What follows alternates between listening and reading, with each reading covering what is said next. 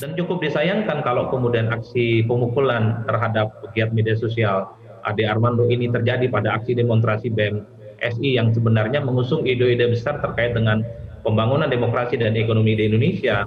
Meski sampai saat ini sebenarnya belum kelihatan motifnya, tapi ini sangat menodai demonstrasi hari ini yang dilakukan oleh mahasiswa, di mana mereka memang tetap memperjuangkan aspirasi rakyat.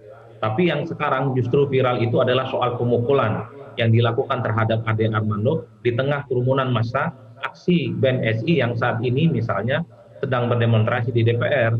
Ini yang sebenarnya memberikan double efek yang cukup buruk sebenarnya bagi citra demonstrasi mahasiswa bahwa dalam banyak hal memang sering kali terjadi kerusuhan dan kericuhan yang sering kali bertabrakan dengan norma-norma hukum. Saya juga aktivis Zaskia, hampir tujuh tahun kuliah, mulai semester 1 sampai selesai itu tiap hari. Tapi pantangan satu hal yang saya hindari, sekeras apa pun perbedaan sikap kita dengan orang lain terhadap rezim, sekeras apa pun anti kita terhadap kekuasaan, tapi cara-cara menggunakan kekerasan itu paling kita hindari.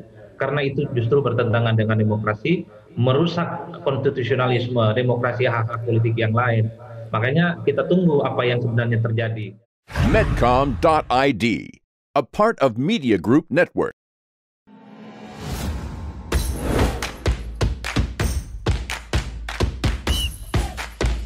bubur ayam kalau diaduk-aduk jadi cair. Seriously, diaduk kayaknya ya.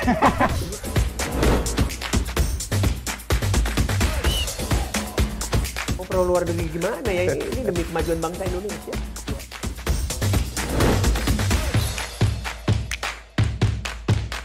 Isu kebangkitan uh, PKI ini uh, dihentikan.